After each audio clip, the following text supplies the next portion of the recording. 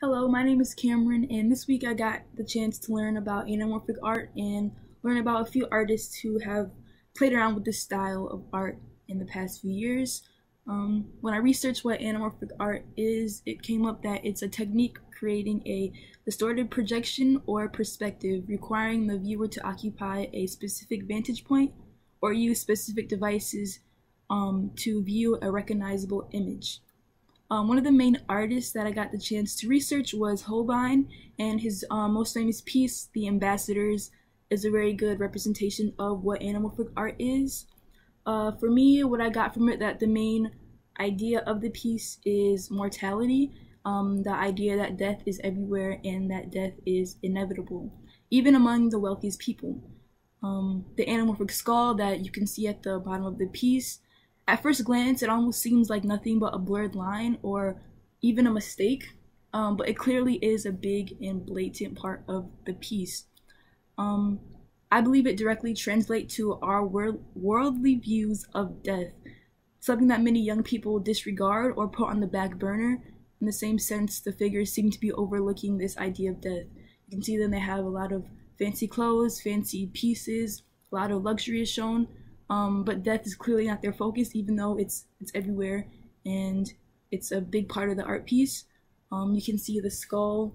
If you view it in a specific point, you see that the big line at the bottom of the piece is a skull representing death. Um, but the main figures in the piece are more focused on wealth or creating a name for themselves, or in this sense, trying to create the church. Um, so yeah. Another artist that I had the chance to research was Jenny Holzer, and she was really intriguing to me. I really actually like her art style. Um, at first, I didn't really think of it as anamorphic art, but after further review, I kind of got the chance to understand why it's considered to be that. Um, she uses a lot of public spaces, including benches, parks, uh, big LED signs, to broadcast powerful and compelling statements. Um, and to me, it's kind of cool. It seems like a refined form of graffiti almost, which is I thought was kind of interesting. Um, so I came to the conclusion that it is a form of anamorphic art because the statements that she's broadcasting are not what people would expect to see. Um, they're kind of like a source of confusion. Like you see a sign, you expect it to kind of just be normal, but she's portraying these social commentaries that are really interesting. Um, and in that case, it's kind of a social social distortion.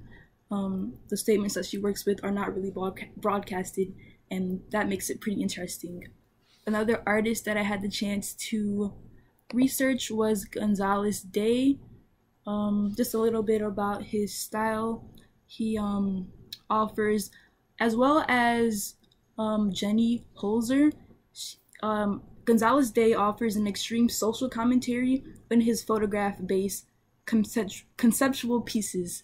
Uh, one example of this is in his digital art- altering of lynching scenes from the 19th and 20th centuries.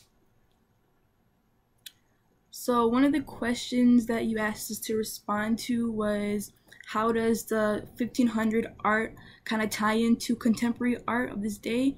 And when I, one thing that really stuck out to me was the idea of the 1500 mannerism and the distortion. They kind of work with and play, play around with stretching of limbs and playing around with changing line and shape.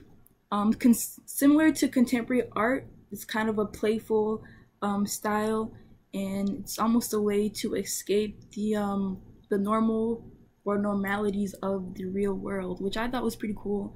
Um, so overall, I really actually enjoyed anamorphic art. I do want to learn more about it, and am excited to see like how I can kind of spot it in everyday, in the everyday sense now. Um, it's kind of cool to see how artists these days play around with space, perception, and movement, and how they incorporate it into uh, normal pieces to keep it more interesting. So that's my take on anamorphic art, and thanks for watching.